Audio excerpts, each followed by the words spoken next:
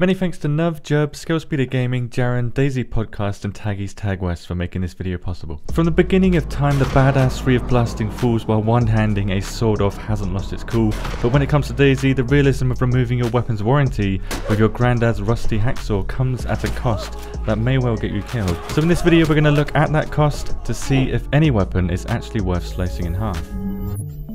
The three weapons you can slice in half are the BK-18, BK-43 double barrel and the Mosin.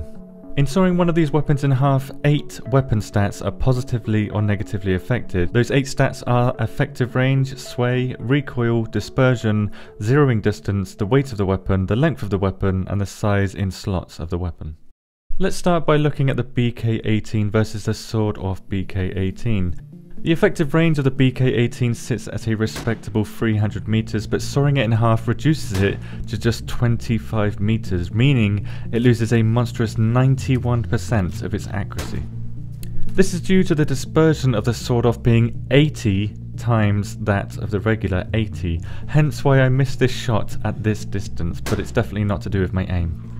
Another drawback to sawing off weapons in DayZ is the recoil. All three of these weapons in this video get a recoil increase of 100%, so double the amount of recoil, probably due to the weight loss when you saw it off.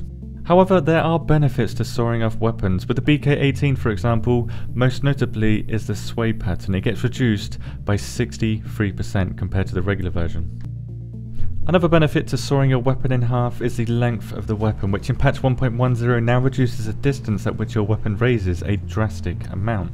In this case, it's a reduction of 65%, and if you didn't know, length isn't the length of the weapon, but it's the distance from the center of your player to the end of your muzzle, hence why this gun goes into the wall.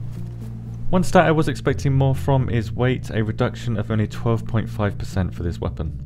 The final stat, size, which doesn't play much of a role in DayZ as it used to, making it one of the weakest beneficial stats for weapons, but a 63% reduction can't be ignored. Now technically sawed-off weapons also lose attachment stats because the BK-18 loses the ability to attach the improvised suppressor and ghillie gun wrap when it's sawed off, meaning the sawed-off has no attachments. Looking at just the BK-18, the stats we lose versus the stats we gain from sawing off certainly isn't worth the durability damage your hacksaw will take when sawing off this weapon, not to mention you make one of the worst weapons in this game even worse somehow. Now if you've watched this video and you've taken in all the information I've given you and you still decide to saw it off anyway, you've chosen to play DayZ on hard mode, respect.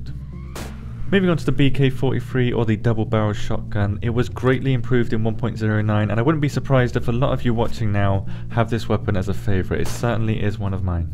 Sawing it off has the same effect on dispersion as it does with the BK-18, a reduction of 76% for buckshot and 68% for slugs, even though the difference in dispersion is the same at 80 times. Recoil again is twice the amount when sawed off, just like all the other weapons that can be sawed off in DayZ, and the sway reduction is roughly the same at 61%. In fact, the other beneficial stats are similar to the BK-18, but the sawed-off version of the double barrel gets to keep the ghillie gun wrap. Not that the ghillie gun wrap is any good, because it weighs more than a truck. Let's move on to the interesting one, the Sawed-off Mosin, and let me start by pointing out the differences in attachments. These are the attachments of the regular Mosin, and this lonely attachment is the remaining attachment once you saw off the Mosin, the powerful PU scope. Now given that the other sawed-off weapons lose a lot of effective range when it comes to cutting it in half, the Mosin surprisingly does not, at least when it comes to the PU scope attached. From my test, the reduction in effective range is high without the PU scope 75%, but with the PU scope that becomes a 60% reduction instead. However, this 60% reduction is still nearly 400 meters because the effective range of the Mosin is 960 meters with a PU scope when it's not sawn off. When it is sawn off, 400 meters. You can get a kill with a sawed-off weapon at 400 meters effectively, primarily because the dispersion differences between the two is only 3 times greater than the Mosin, instead of 80 times like the other sawn-off weapons we've seen. Now if we combine these numbers with the fact that you get 72% less sway when you saw off a Mosin, you have a Longhorn. A Longhorn that can carry 5 rounds, can zero up to 1300 meters, is shorter than most pistols, has nearly the same minuscule sway as a pistol, and can one-shot players effectively at anywhere under 400 meters. The sawed-off Mosin, to my surprise, is actually a really good sidearm. I can imagine myself running with an assault rifle or some sort of SMG, and you can have this as a sidearm that you can pull out to kill players at under 400 meters effectively. It's a longhorn, but it's better. Very cool. On the other hand, when it comes to sawing off weapons, the BK-18 and double barrels certainly are not worth sawing off with how much range you lose. The other stats just aren't worth it. In other news, after months of building, the Wobo website is now online and you can visit it using the link below. It's a website dedicated to helping people understand how game mechanics work using interactive tools. This is where I got all my weapon info from for this video, and I'm sure you can learn a lot there too.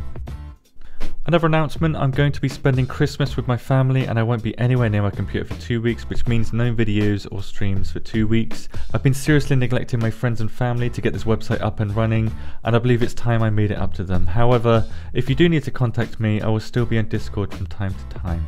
I'm very excited for the future of Wobo, especially with the release of this website. I hope you are too. Have a great holiday season, and I'll see you in January.